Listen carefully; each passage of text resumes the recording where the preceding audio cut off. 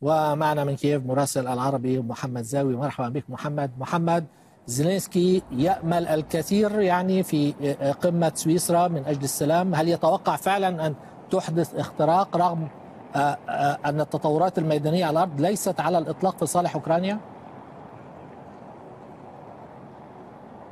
فعلا خالد يبدو أن الرئيس الأوكراني يعقد أمال كبيرة على ما ستقوم به الولايات المتحدة الأمريكية من خلال إمكانية حضور الرئيس بايدن وكذلك الجانب الصيني المقرب من موسكو من أجل الدفع بعجلة السلام لإيقاف هذه الحرب.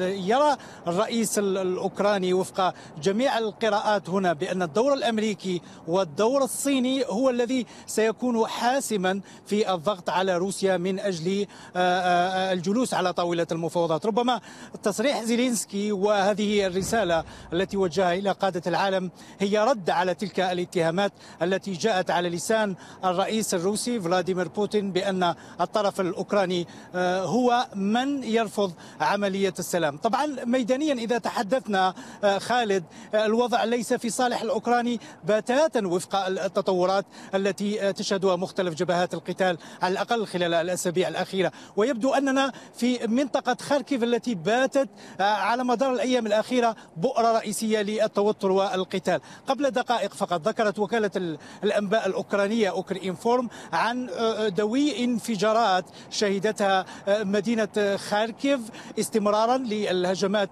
الروسية التي لم تتوقف الليلة الماضية وكذلك بعد ظهر اليوم حيث قتل مدني على الأقل وأصيب أربعة آخرون في إحدى البلدات الواقعة في الجهة الشرقية. من مقاطعة خاركيف بالتزامن مع ارتفاع حصيلة قتلى القصف الروسي يوم أمس إلى 15 قتيلا وما يزيد عن 40 مصابا.